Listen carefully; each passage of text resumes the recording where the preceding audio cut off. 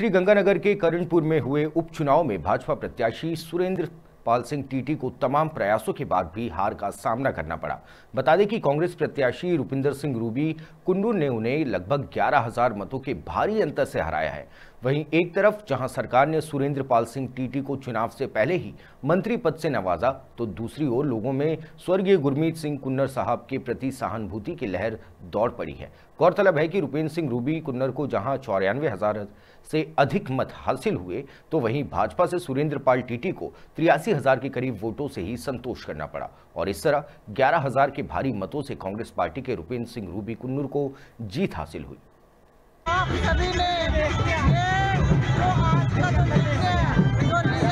है को बचाया है को बचाया है आपने बता दिया कि मंत्री कोई पार्टी नहीं बनाती है जनता बनाती है विधायक बनाती है तो जनता बनाती है कर्मपुर विधानसभा की तमाम जनता को सबको मैं बहुत बहुत बधाई देती हूँ धन्यवाद देती हूँ